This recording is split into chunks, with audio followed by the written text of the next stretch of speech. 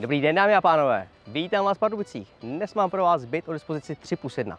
V klidné části města, Cihlovém domě. Jsme v Jungmanově ulici. Já se jmenuji Petr Ivanko a zvu vás na prohlídku.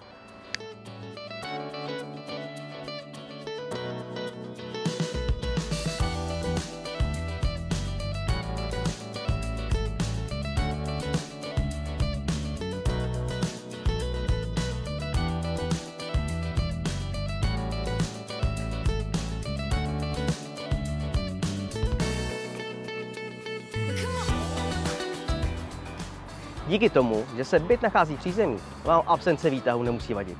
Obytná plocha je 90 metrů čtverečních a patří k němu ještě 8 metrový sklep.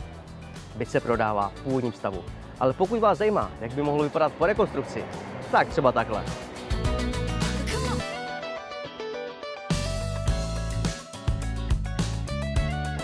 Velikost bytu, vysoké stropy a jeho strategická poloha. To jsou tři věci, které z tohoto bytu udělají perfektní místo k bydlení.